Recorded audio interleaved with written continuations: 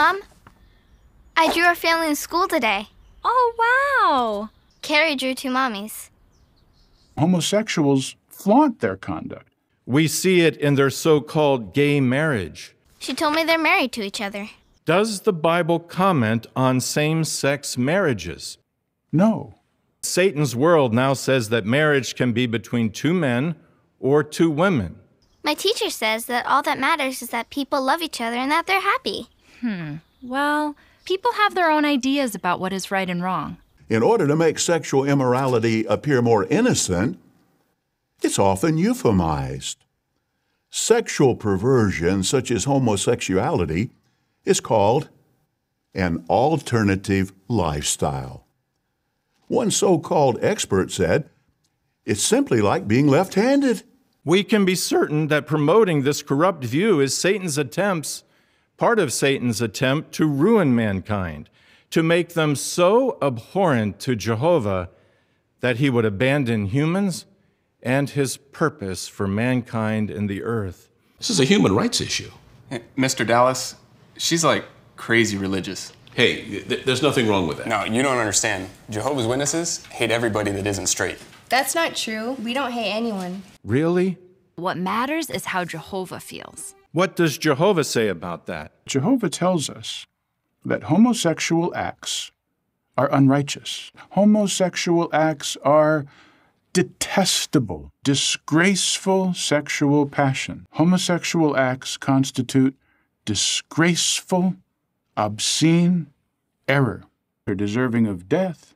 It's, it's hard for me to be told that, be told that I'm evil, because I think of myself as someone who's filled with love, whose only purpose in life was to achieve love and who feels love for so much of nature and the world and for everything else. In Iran, we don't have homosexuals like in your country.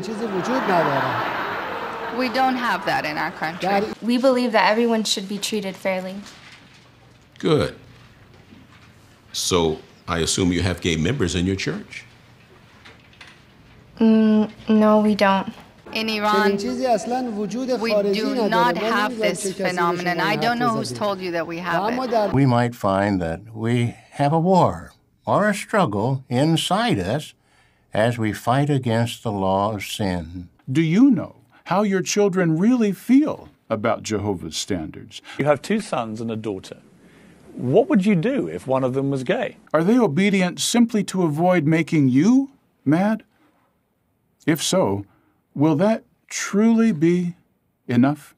Even government agencies on a global scale are getting involved, and they are critical of anyone who does not adopt their warped view. If a group recognizes an ugly behavior or ugly deed as legitimate, you must not expect other countries or other groups to give it the same recognition. Merely approving of unrighteous conduct displeases Jehovah. What should we continue to do? Well, we should kindly and respectfully help others to see Jehovah's view while there is still time. As Jehovah's Witnesses, we hold to the Bible standard on marriage, which is only between a man and a woman. One man and one woman? Exactly. Do you see the connection? The political system must be revamped. One government will rule the entire earth. All human governments will be gone.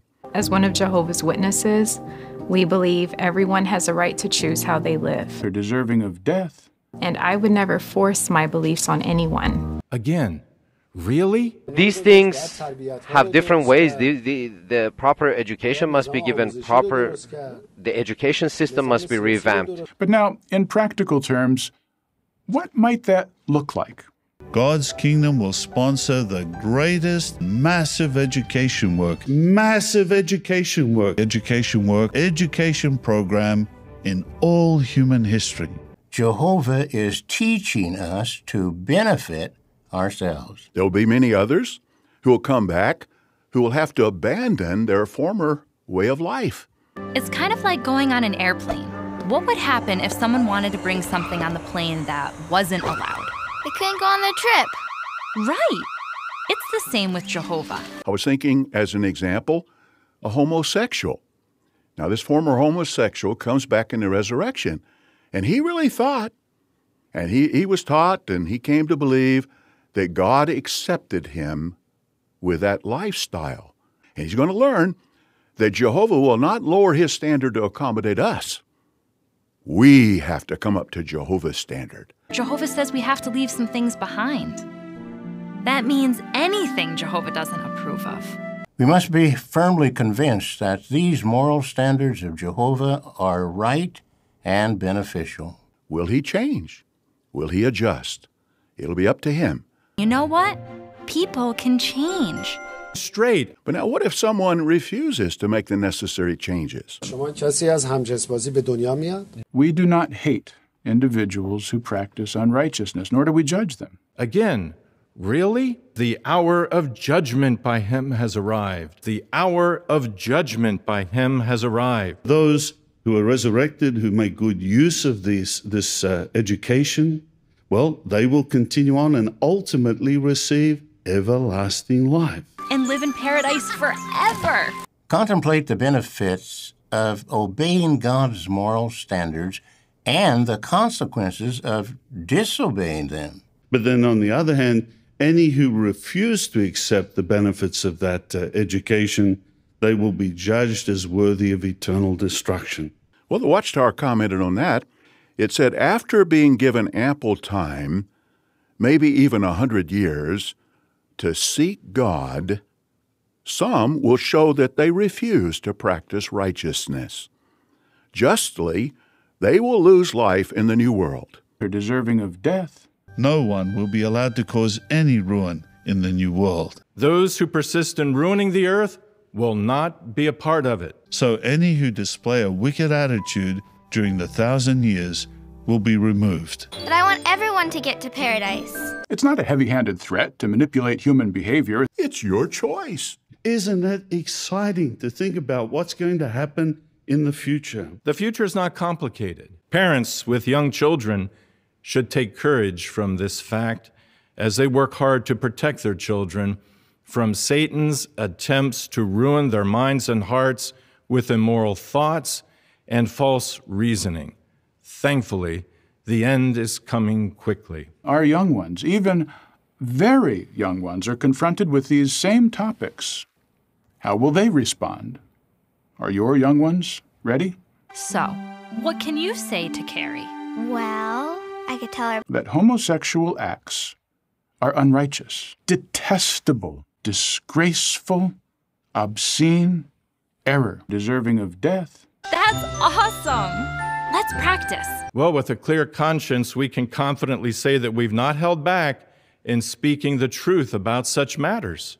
Some would disagree. With 6% of all teenage suicides being gay teenage suicides, we certainly don't need the stigmatization, the victimization that leads to the playground bullying when people say you're a disordered, morally evil individual. That's not nice. It isn't nice.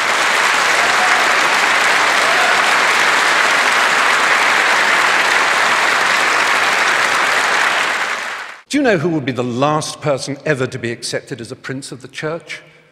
The Galilean carpenter, that Jew. They would kick him out before he tried to cross the threshold. He would be so ill at ease in the church.